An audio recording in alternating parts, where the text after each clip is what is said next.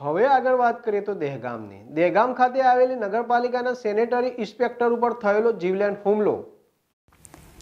ગાંધીનગર જિલ્લાના દેગામ નગરપાલિકા ખાતે સેન્ટર તરીકે ફરજ બજાવતા દીપકભાઈ અમીન આજે સવારના સમયે પોતાની ફરજ બજાવતા હતા. ત્યારે આવતીકાલે દેગામ ખાતે મંત્રીનું આગમન હોવાથી જાહેર રસ્તા ઉપર સાફ સફાઈ માટે સેનેટરી ઇન્સ્પેક્ટર તેમના સ્ટાફ સાથે નીકળ્યા હતા.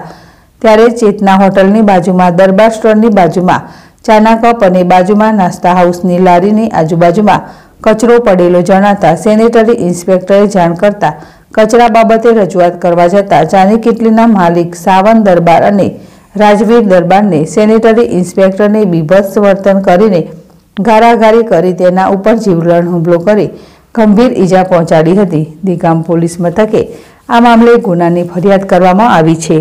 સેનેટરી ઇન્સ્પેક્ટર ગંભીર રીતે ઘવાતા ગાંધીનગર સિવિલ ખાતે વધુ સારવાર અર્થે મોકલવામાં આવ્યા છે.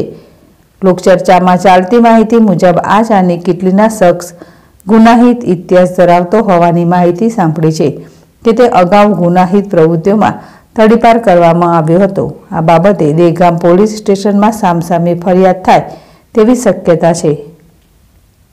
અગરસિંહ ચૌહાણ, જેડેશ ટીવી દેગામ